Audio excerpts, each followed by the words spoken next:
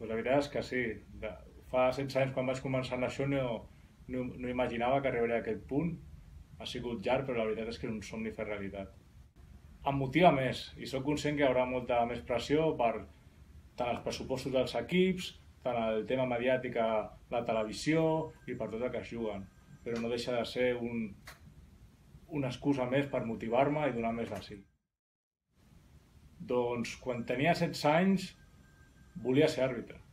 I de futbol sala perquè era joc que estava jugant en aquell moment, aquell esport, i volia ser àrbitre. I ja als 18 vaig poder començar a fer el curset i iniciar-me en aquest món. Però un per què jo crec que va sortir a dins. Aportar tant a nivell esportiu, perquè estàs en un món el que t'agrada i formes part d'ell, i després, sobretot, l'evolució que tens com creixement personal.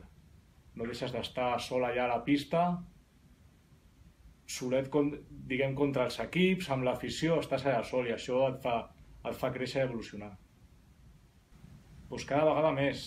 L'exigència de l'esport, del futbol sala, la rapidesa, la velocitat, ens fa que tenim que estar més a prop de les jugades i estar físicament millor.